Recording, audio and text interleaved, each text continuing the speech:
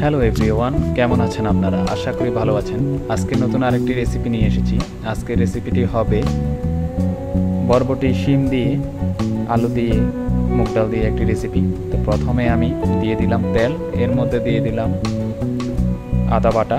এর সাথে পাঁচ ফোড়ন তার সাথে দারচিনি আর তেজপাতা দিয়ে দিলাম।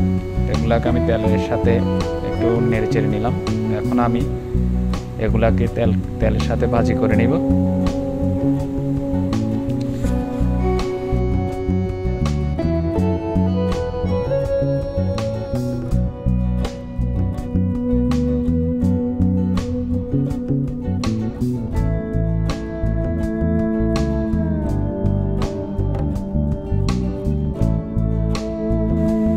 এভাবে কিছুক্ষণ তেলের সাথে নেড়ে চেড়ে নিলাম। এর মধ্যে দিয়ে দিলাম কাঁচামরিচ কিছুটা।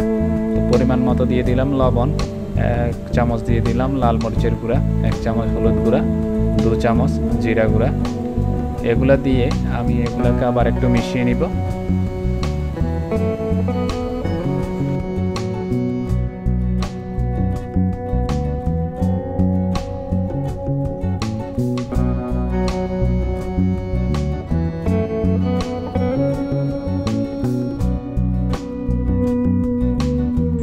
এখন আমি এইগুলাকে ছয় থেকে সাত মিনিট এভাবে সিদ্ধ করে নিব। দিয়ে দিলাম পানি। পানি দিয়ে ডাকনা দিয়ে দিব। ছয় থেকে সাত মিনিট পর এসে দেখি তরকারিটি এমন হয়েছে। তো এতটুকুই ছিল আজকের রেসিপি আমার চ্যানেলে যারা নতুন, অবশ্যই আমার চ্যানেলটিকে সাবস্ক্রাইব করে দেবেন। পাশে থাকা বেল আইকনটি বাজিয়ে দিবেন। ধন্যবাদ।